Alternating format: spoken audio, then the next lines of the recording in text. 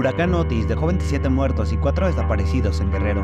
Tras un recorrido por la zona en donde tocó tierra el huracán Otis, Rosa Isela Rodríguez Velázquez, titular de la Secretaría de Seguridad y Protección Ciudadana, explicó que de acuerdo con el gobierno del estado de Guerrero, por estos hechos fallecieron 27 personas y 4 más se encuentran en calidad de desaparecidas. Lo anterior se dio a conocer como parte del informe preliminar que dio el titular de la Secretaría de Seguridad Pública Ciudadana, brindó en el marco de la conferencia mañanera de este jueves 26 de octubre de 2023 del presidente de México Andrés Manuel López Obrador. Lamentablemente se recibió el reporte por parte del Estado y del gobierno municipal de 27 personas fallecidas y 4 desaparecidas. Nosotros estamos pendientes por esta tragedia, expuso la funcionaria. Aunado a lo anterior, Rodríguez Velázquez mencionó que el gobierno de México atiende a todos los municipios afectados por el huracán Otis por instrucción del presidente, quien refirió encabezó del día de ayer los recorridos por la zona de desastre.